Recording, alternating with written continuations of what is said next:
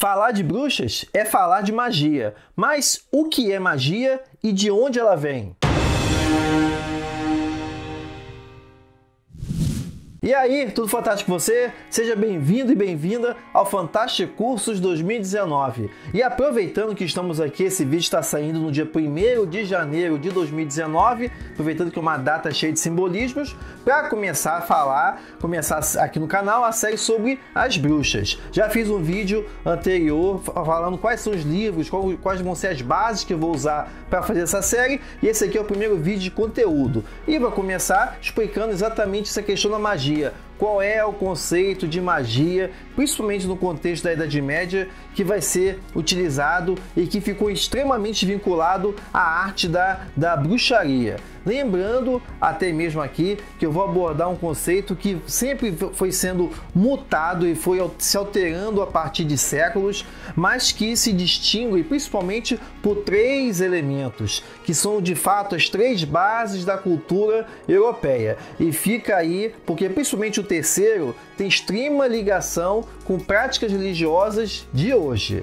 E lá vamos nós uma coisa que tem que ser destacada desde o início aqui da série é que a magia é frequentemente entendida como algo que se desvia da norma, como uma coisa, uma força desviante em relação ao pensamento religioso e científico. A magia é operada por um conjunto de práticas variando da astrologia, alquimia, uso de encantamentos, amuletos, feitiçaria, manejo de ervas e de outras práticas também como a necromancia baseado no princípio de que o mundo natural contém poderes escondidos, que os seres humanos podem se apropriar ou tomar emprestados com propósitos práticos, tanto para o bem quanto para o mal. O conceito de magia que se formou na Idade Média tem raízes na própria base, como já falei, da cultura europeia e passa por três eixos. A primeira, a base clássica ligada ao mundo romano, a segunda,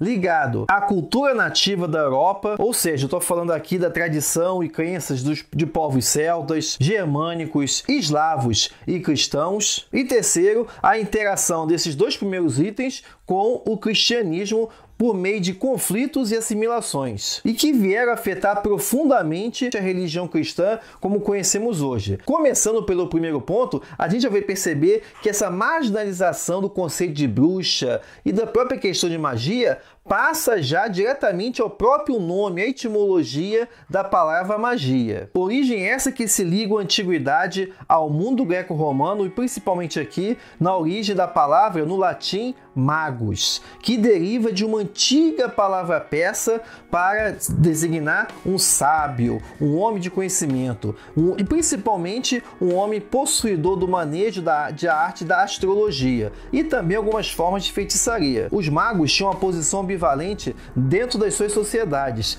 E a gente vai encontrar sua forma mais bem trabalhada na figura dos três reis magos, que eram estrangeiros, pagãos educados, provavelmente da peça, cuja prática da astrologia os levou diretamente ao lugar de nascimento de Jesus Cristo. O termo magos, então, basicamente se refere a um estrangeiro, entendido aqui tanto de forma literal quanto figurativa, como alguém que vive nas fronteiras da sociedade normal e que tinha maestria do conhecimento secreto para fazer coisas como fazer previsões a partir das entranhas de animais, fazer encantamentos, interpretar oráculos, fornecer amuletos de pedras mágicas ou feitas de partes de animais. Lembrando que esse respeito e também temor desse conhecimento e poder oculto já estava expresso lá na literatura clássica em autores como Plínio, o autor que viveu nos anos 23 a 79 da nossa era e que pode ser encontrado no seu História Natural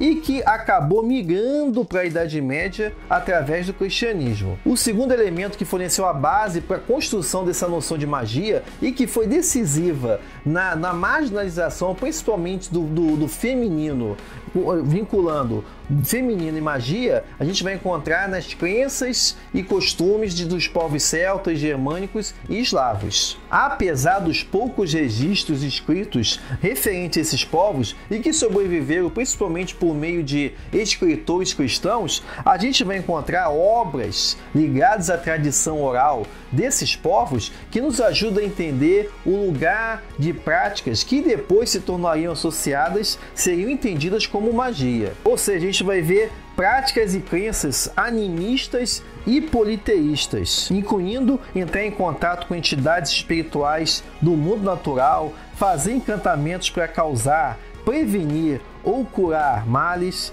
carregar amuletos para afastar entidades espirituais, o uso das runas, a adoração de lugares específicos ou árvores, ou seja, práticas que iam ser classificadas como mágicas por autores cristãos, mas que dentro das suas próprias culturas elas eram apenas parte da medicina natural ou da adoração religiosa. Ou seja, o que era uma prática natural para um celta é, acabou se tornando magia aos olhares cristãos. Isso a gente vai ver principalmente em três obras que são permeadas dessas práticas, que são o épico irlandês Taimbó Kuaige, o galês Mabinod e o islandês EDA, catalogado por Snorri Sturluson. Já o terceiro elemento na construção do conceito de magia e que foi como cimento em relação às outras duas foi o cristianismo. Cristianismo que é uma religião monoteísta que tem um inerente preconceito contra práticas que se opunham à soberania de apenas um só Deus. Foi Santo Agostinho, um dos primeiros e principais pensadores católicos